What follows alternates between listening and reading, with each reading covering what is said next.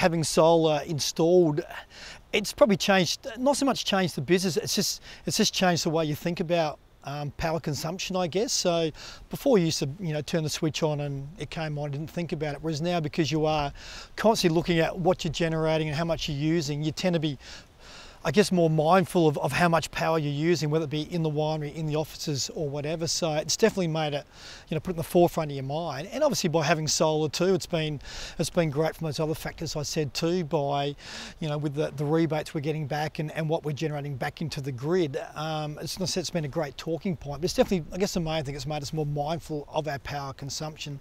So we're probably generating a lot, putting a lot back, but we're also probably using a bit less because we've got it more in the forefront of our mind, how we use power.